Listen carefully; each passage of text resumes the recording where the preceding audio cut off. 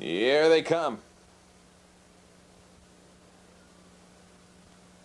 And they're off in the Classics Oaks 2000 here at Freehold. Speed provided right at the inside. Lookout victory. No problem cornering. Out after early is Cupid Doll B. And backing off is Alita's partner. That is Fern. At the inside, filling it up is just a little spice. They're coming into the stretch for two go-arounds, and leading the way is a lookout of victory ensconced on the lead. It's Cupid B on the outside bidding for it, and Miller grabs a handful of lookout victory.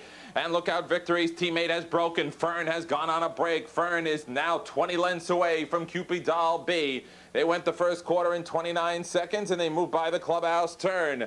It is Cupid Doll B front ending him a length and a half. In behind, Lookout Victory stretching out in second and now Miller pulls the trigger on Lookout Victory to find the lead and is going to have it. Cupid Doll B gives it up slowly immediately after Lookout Victory. Here comes a hard charging charming promise. Then it's just a little spice, another length and a half to Dream On Candy and another three back to Fern.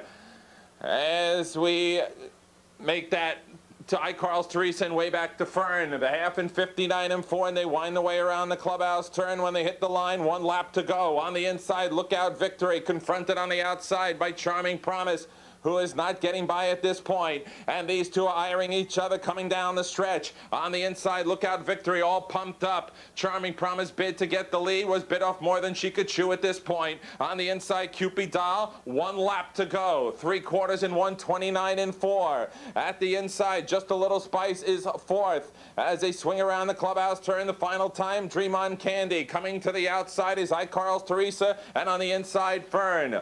They take the bend and onto the back stretch the final time. Leader of the pack is looked out victory. She hasn't had a second to herself. Off stride when Dream on Candy. Dream on Candy has made a break. It's lookout victory cruising up the back stretch a length. Charming Promise beginning to waver a bit. On the inside, Cupid Doll B rides a precious pocket. Just a little spice is still in the frame. They round the final turn. It's still lookout victory, and she looks strong out on the lead a couple of lengths. Cupid B is second. Charming Promise been out for too long, and she's beginning to give up the fight. Just a little spices save ground, and they're coming home in the Classics Oaks and lookout victory. She brought her A race with her, and she is pouring it on, and she's going to win with splendor and grace. Lookout victory by five. Cupid B second. Just a little spice third and two. Proving best, the one, a lookout victory. Second, four, Cupid Doll B. Third, three, just a little spice. In two, 28 and four.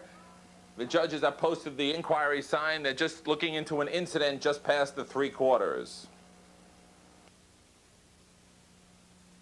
And with a confident driver behind, one Dave Miller. Lookout Victory and Note, also campaigned in Europe for about three years. We warmly welcome gentlemen who you see on the Ladbroke Network. Does a TV show with Roger Huston. Director of the Classic Oaks series, Mr. Nick Salvi.